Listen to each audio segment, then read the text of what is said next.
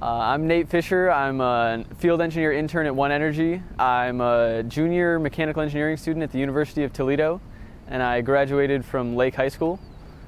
Uh, at One Energy, I rotate between different programs. Uh, we have multiple different departments, and interns will rotate on a weekly basis, and will participate in whatever tasks uh, they have for us. We do a lot of wind analysis with our PPT group.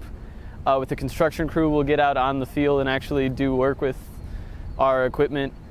Uh, we rotate into our storytelling group. We get to look at the marketing side. Um, we work with accounting. Uh, I was not really set on what I wanted to do in college, so I was good at math.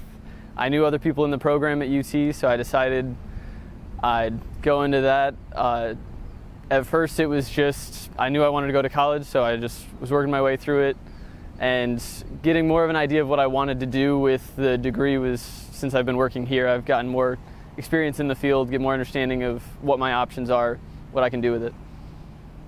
Try different things, like a lot of internships. I didn't do an internship until my sophomore year of uh, college, just kind of followed the program that I was given.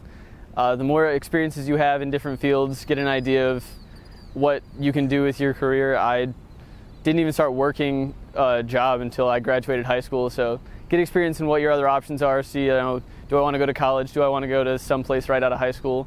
So yeah, getting job experience earlier